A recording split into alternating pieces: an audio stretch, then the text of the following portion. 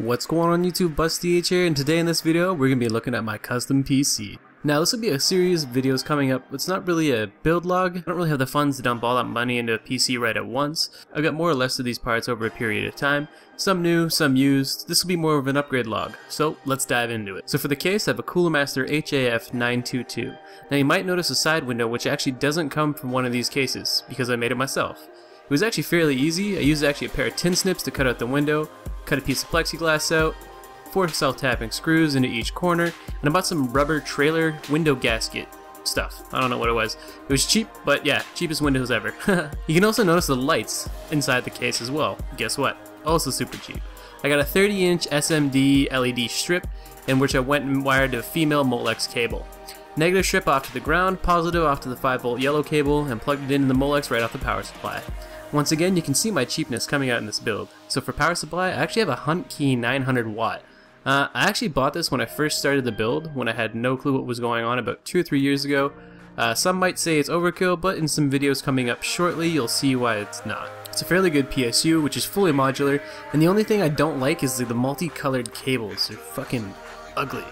Um, but hey, if I'm lucky, maybe cable mods, you guys can maybe send me some nice black ones over to clean it up a little bit, but hey, we can all dream, right? Uh, the CPU is an i5 3570 that's been overclocked to 4.3 gigahertz. It's a small overvolt with 1.25 clock on it.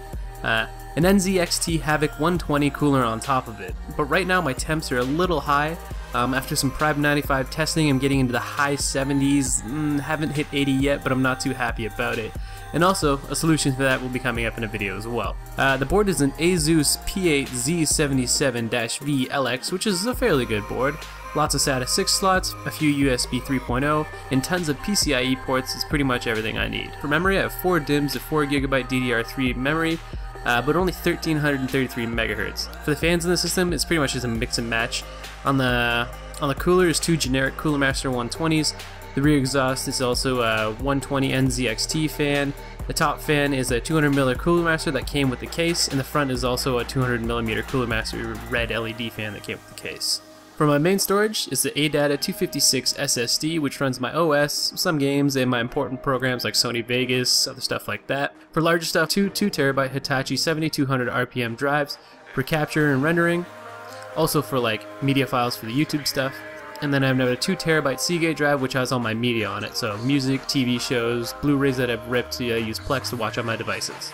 And now last but not least, the best part, my GPU is an MSI R9 280X, which is pretty good. Most AAA titles with anti-aliasing, shadows, textures, all that can hold 30 FPS pretty good, but it's pretty lonely in there, so in the future I'll see if we can find a friend for him. And just squeezed above the GPU in there, which I have to move, is my AverMedia Live Gamer HD.